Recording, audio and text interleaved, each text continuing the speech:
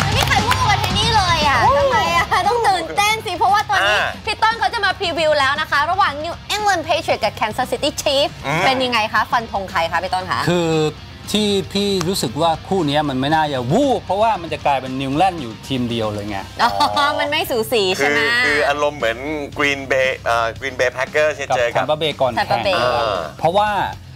เดิมเนี่ยเฉพาะฟอร์มผู้เล่นใช่ป่ะครับNew England เองถึงแม้ว่าจะดูตุปัดตุเป๋อาจจะฟอร์มไม่ค่อยดีอย่างนู้นอย่างนี้ ก็ยังดูว่า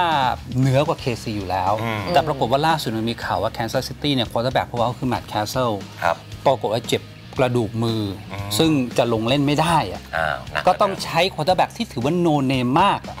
คือชื่อว่า Tyler Palko พี่อยู่คือพี่ทำ NFL มานะ พี่นึกไม่ออกว่าไอ้นี่มันคือใครตั้งแต่ draft มาก็นึกไม่ออก คือไม่โดน draft ด้วยครับ อ๋อ คือสมัยอยู่เรียนมหาวิทยาลัย Pittsburgh เนี่ยคือครับ ทำท่าว่าจะเก่งนะอืมแล้วก็ทำให้ quarterback คนหนึ่งที่ว่า Joe Flacco เนี่ยเป็นสำรองเขาขอ transfer โรงเรียนไปอยู่ Delaware แล้ว Joe Flacco ปัจจุบันนี้เป็น quarterback ที่เก่งคนหนึ่งแต่ว่า Tyler Palko เนี่ย no name สุดๆอะแล้วต้องขึ้นมาเป็น quarterback ของ Kansas City ก็ทำให้พี่มองว่าเกมเนี้ยจะเป็นเกมที่แบบเราจะได้เห็นการบดขยี้ของ Patriots อย่างเต็มที่เลยวันนี้ก็เลยต้องพยายามเป็น Patriotsกลัวผิดหวัง นี่เป็นเสื้อหนังเลยนะครับพี่ ก็ ไม่รู้อะครับพี่พี่ก็ยังไม่คันเท่าไหร่หนังนี่อ๋อ ถ้าใส่เสื้อของฟิลาเดลเฟียอีเกิลจะคันกว่านี้ไหมโอ้โหคันมาก ไม่แต่ว่าพี่ว่าเด็กคนนี้อาจจะโนเนม แต่ว่าเขาก็ต้องมีสาเหตุที่โค้ชเลือกเขาขึ้นมาไหมคะ อาจจะแบบเฮ้ยมีอะไรพลิกล็อกหรืออะไรหคืรืออเปล่าถ้าจะมองถึงสิ่งที่เกมอย่างเกมเนี้ยเป็นเกมใหญ่มากครับมันเดน i ฟุตบอลเนี่ยเด็กอเมริกันทุกคนเนี่ยตอนเด็กๆเนี่ยต้องต้องดู Monday Night อ่าเลย เพราะว่ามันเป็นเกมถ่ายทอดสดที่ ที่ทั่วประเทศ แล้วการที่คนที่แบบโนเนมเลยนะ จะต้องก้าวขึ้นมาเกมเนี้ยมันก็เป็นจุดแจ้งเกิดและจุดดับเลยก็ได้อ่าความถ้ากดดันมากถ้าจะมองหาโอกาสนะพี่มองว่านิวอิงแลนด์เนี่ยยังมีปัญหาเรื่องของทีมรับไม่ค่อยดีครับอ่าแล้วก็อีกอย่างหนึ่งคือว่า KC เนี่ยโค้ชทีมรับของพวกเขาเนี่ยคือโรมิโอเครนเนลก็เคยเป็นโค้ชทีมรับของ New England Patriots อืมเคยสู้กับเบรดี้คือยังต้องรู้ว่าเบรดี้มีจุดอ่อนจุดด้อยอะไรอืมก็อาจจะสร้างปาฏิหาริย์ได้อ่าแต่ว่า ปาฏิหาริย์ที่ว่าเนี่ยโอ้โหริบหรี่สุดๆ เลยนะ เพราะว่าตัวคือนอกจากแมตต์แคสเซิลที่เจ็บนะจริงๆ แล้วก่อนหน้าเปิดฤดูกาลนะ KC มีปัญหาตัวเก่งๆเนี่ยเจ็บมาระนาวเลยนะเจ็บเจ็บเจ็บมาเรื่อยมีอยู่ช่วงหนึ่งที่พวกเขาไปสร้างปาฏิหาริย์คือไปชนะ 4 เกมติดครับซึ่งตอนเนี้ยโค้ชของพวกเขาคือทอดด์เฮลีย์เนี่ยเขาไว้เคราไงอืมแล้วเขาก็ไว้มากขึ้นสื่อก็เลยถามบอกว่า จะไว้ไปถึงเมื่อไหร่เขาบอกจนกว่าทีมจะแพ้ ซึ่งอาทิตย์ที่แล้วก็เลยไปแพ้ทีโบทั้งคนเรียบร้อยอ๋อ ซึ่งเขาคนเขาพูดทำนองว่าจะไว้แบบ ZZ Top เลยนะแบบตอนนั้นเด็กจ้องยาวๆจนกระทั่งเป็นแชมป์ซูเปอร์โบว์ไปเลยประมาณนี้ไงแต่ตอนนี้ก็หน้าเกลี้ยงแล้วล่ะเพราะว่า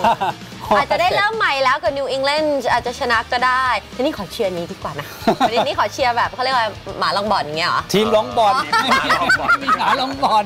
ทีมรองทีมรองไม่มีไม่มีหมารองบ่อนนะครับก็คือพี่ต้นว่าว่าเนี่ยเดี๋ยวเดี๋ยวต้องต้องต้องมีฟังขอโทษฮะเชิญครับเชิญครับก็เพราะฉะนั้นนะครับจริงๆแล้วอันนี้ไม่ต้องใช้ก็ได้อืมสำหรับในช่วงของ head to head match ระหว่าง ทางด้าน Kansas City Chiefs ไปเยือน New England Patriots ผมขอเลือก New England Patriots ครับ อ่า นะฮะ ก็ไปดูฟอร์มทอมเบรดี้ด้วย ใช่ก็จะได้เห็นว่าทำไมปีนี้เนี่ย Patriots ถึงได้โดนมองว่ายังเป็นเพียงแค่ทีมระดับเต็ง2เต็ง3 อาจจะมีจุดด้อยอะไรหรือเปล่า เจอกับทีมที่อย่าง KC ที่เป็นรองสุดชีวิตเนี่ยมันจะมีการพลิกล็อกเกิดขึ้นมาเพราะกีฬาในเสน่ห์มันอยู่ที่ทีมที่แบบว่าเป็นรองแล้วใช่พังงาดขึ้นมาได้ใช่ นะผมก็อยากดูว่า quarterback คนที่ใช่ชื่ทันเลอร์เปาะไทันเลอร์เปาโก้อ๋อทันเลอร์เปาโก้โก้ ซึ่งชื่อก็ไม่น่าจะแบบดังนะไทเลอร์เปาโก้อะไรเงี้ยเออเออคอยดูพี่ต้นคะคอยดูแรงเชียร์เทนนี่จะทำให้เขาชนะอะนะฮะต้องมาติดตามนะฮะ เดี๋ยวไปฟังนี่อะทัศนะจากพี่สุเมฆกันดีกว่านะคครัรับบว่าพี่สุเมฆเนี่ยจะมองว่าไทเลอร์เปาโก้เป็นยังไงนะฮะ เดี๋ยวกลับมาครับสำหรับในคู่ของ Kansas City Chiefs ไปเยือน New England Patriots ในคู่นี้จริง ๆ แล้วแฟน ๆ คงอยากจะเห็นแมตต์แคสเซิล ปะทะกับทีมเก่าก็คือ New England Patriots แต่ปรากฏว่าแกไปเจ็บมือขวาเมื่อสัปดาห์ที่แล้วนะครับแล้วก็อาการหนักพอสมควร อาจจะต้องพักทั้งฤดูกาลถึงว่าถึงแม้ว่าในตอนนี้ทางด้านท็อดเ r รี่ซึ่งเป็นหัวหน้าโค้ชจะยังไม่ใส่เข้าไปในรายชื่อผู้เล่นบาดเจ็บ แต่ดูจากแนวโน้มโอกาสจะกลับมาเล่นอาจจะค่อนข้างยากเหมือนกันนะครับ เพราะฉะนั้นยิ่งไม่มีค u a r t e r b a c k ตัวจริงอย่างแม c คส s ซต้องใช้ทางด้านของไทเลอร์พอโกมาทำหน้าที่เป็นค u a r t e r b a c k ปะทะกับทอมเบรดี้ซึ่งจะว่าไปแล้วทอมเบรดี้นี่ก็ถือว่าเป็นคนแรกชั้นแนวหน้า แม้ว่าในช่วง2อสเกมหลังอาจจะเป็นในช่วงที่ดูเหมือนว่าฝีมือแกอาจจะดู drop ลงไป แต่เบรดี้ก็ยังคงเบรดี้ที่น่ากลัวอยู่นะครับ โดยเฉพาะอย่างยิ่งในช่วงท้ายๆของเกม เป็นคนแรกที่กลับมาหรือว่า comeback ได้ดีมาก